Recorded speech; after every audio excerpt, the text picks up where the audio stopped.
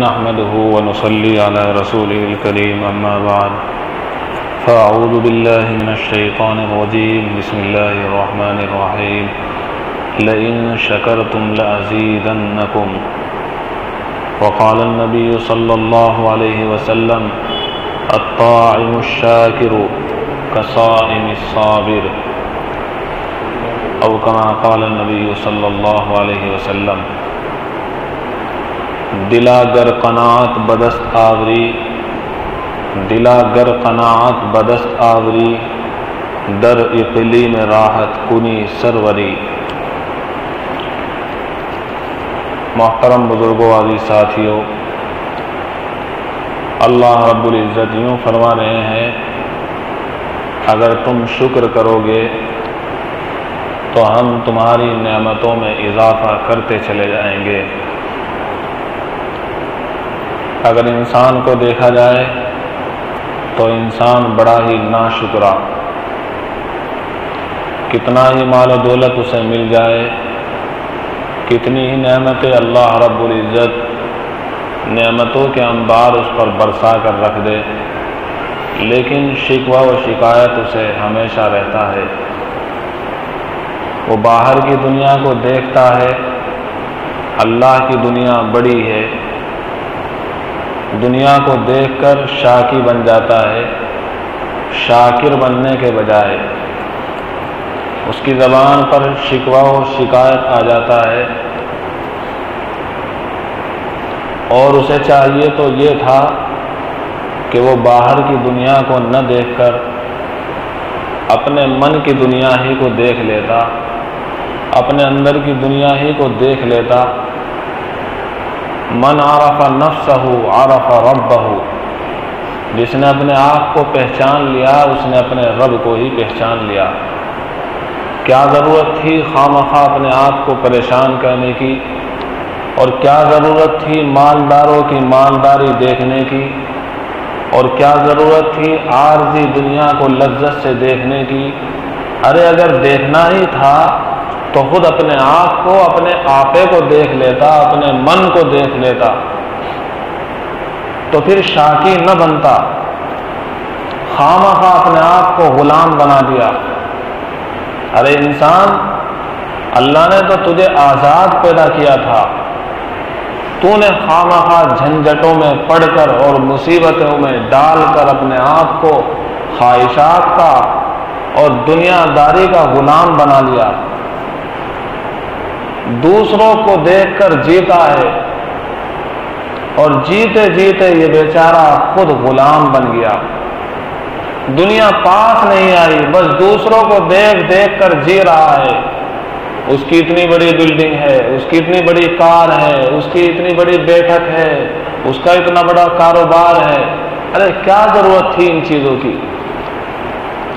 اللہ کے نبی صلی اللہ علیہ وسلم ارشاد فرماتے ہیں الطائم الشاکر کصائم صابر ایک آدمی کھا رہا ہے، پی رہا ہے۔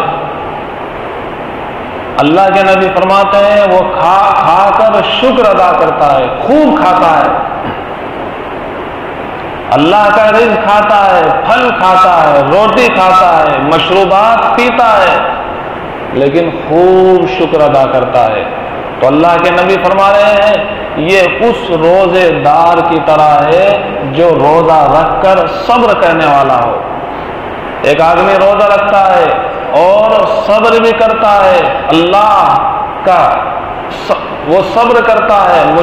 مشکلات جو اس کو پیش آتی ہے، پیاس لگتی ہے، بھوک لگتی ہے، اس پر صبر کرتا ہے۔ اللہ کے نبی ترازو میں تول رہے ہیں اور بتا رہے ہیں، یہ جو شکر کہنے والا ہے، کھا کھا کر، یہ اس کے برابر ہے جو روزہ رکھ رہا ہے اور صبر کر رہا ہے۔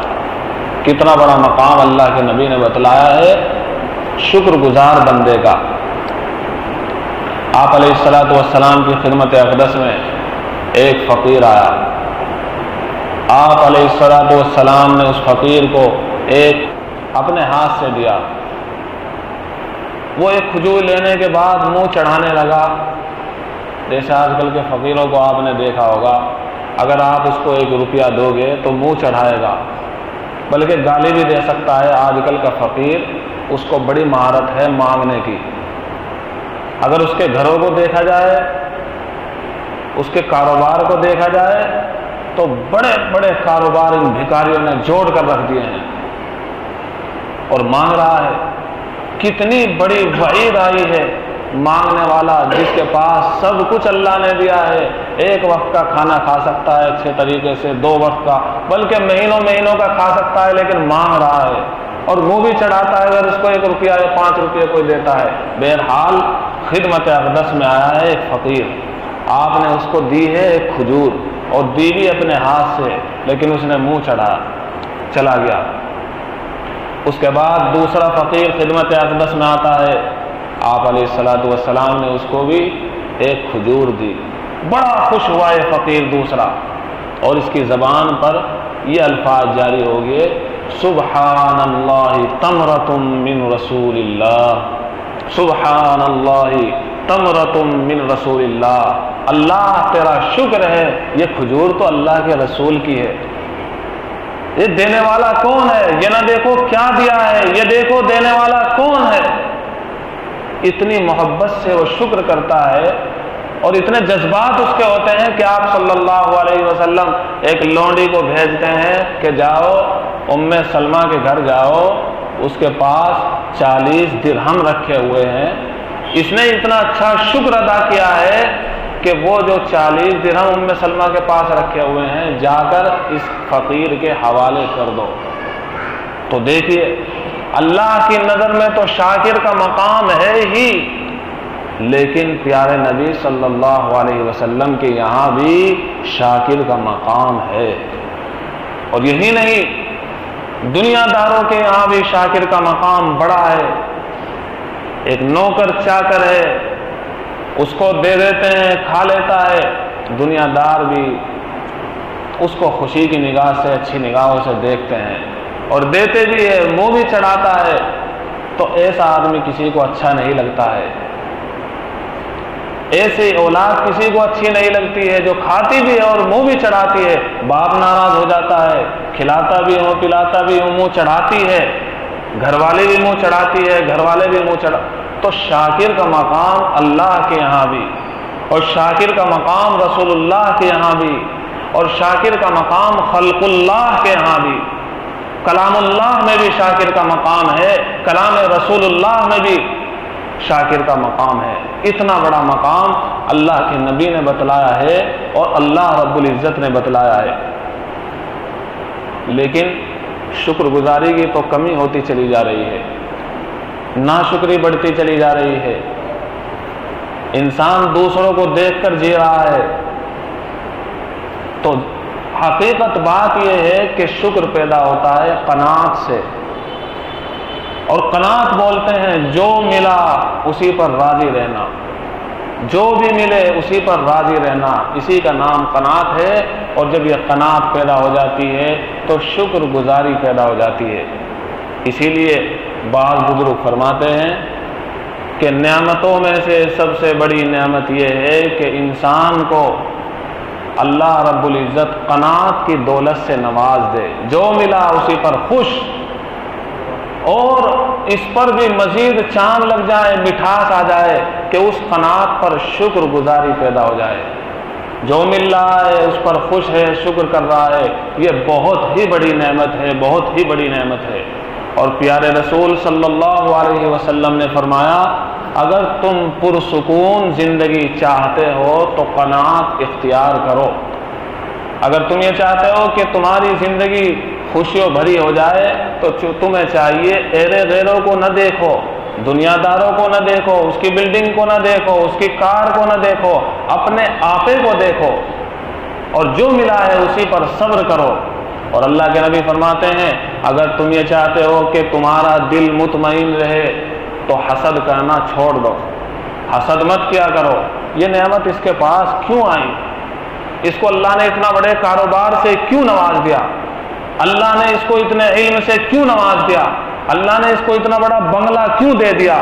اللہ نے اس کو ایسی ایسی چیزیں تو یہ حسد ہے۔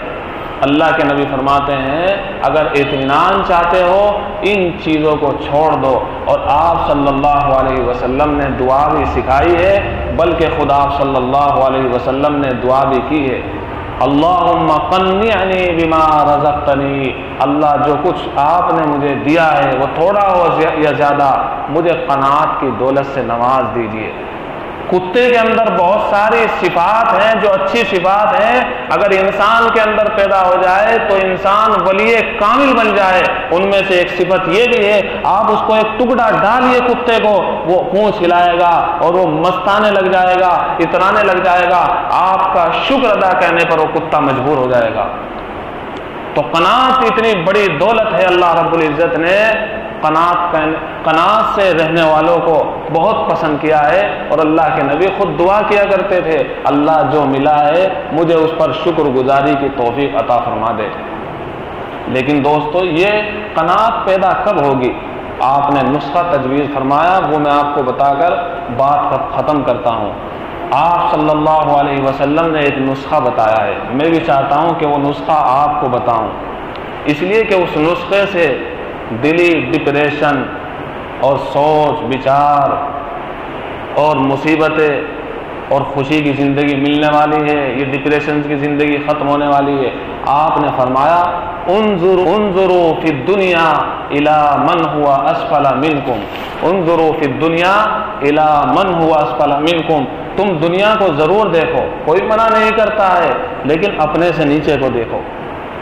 اگر اللہ نے آپ کو کار دے رکھی ہے تو موٹر سائیکل والے کو دیکھو۔ اللہ تیرا شکر ہے، آپ نے تو مجھے کار سے نوازا ہے، اس کے پاس تو کار بھی نہیں ہے۔ اگر اللہ نے آپ کو کار، آپ کو موٹر سائیکل دی ہے، آپ کو چاہیے کہ آپ کس کو دیکھیں؟ سائیکل والے کو دیکھیں۔ اگر آپ کے پاس سائیکل ہے تو آپ اس کو دیکھیں جو پیدل مرا مرا چل رہا ہے، دور دور کا چکر لگا رہا ہے۔ اس بیچارے کے پاس تو سائیکل بھی نہیں ہے۔ اگر اللہ نے آپ کو ٹوٹا پھوٹا گھر ہی دیا ہے، آپ جھوپڑے میں رہنے والے کو دیکھ لیجیے، وہ بھی تو اللہ ہی کا بندہ ہے۔ اگر آپ اللہ نے آپ کو جھوپڑا دیا ہے، ان لوگوں کو بھی دیکھ لیجیے۔